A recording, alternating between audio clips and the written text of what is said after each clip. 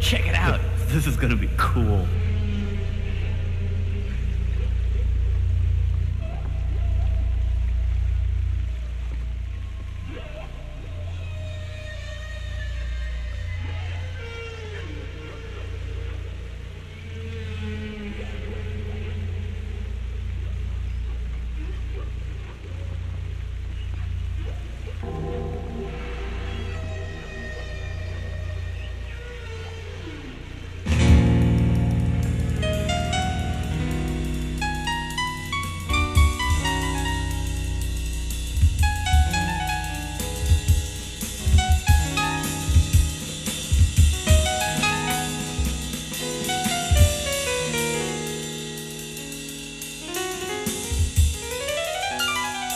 Bye.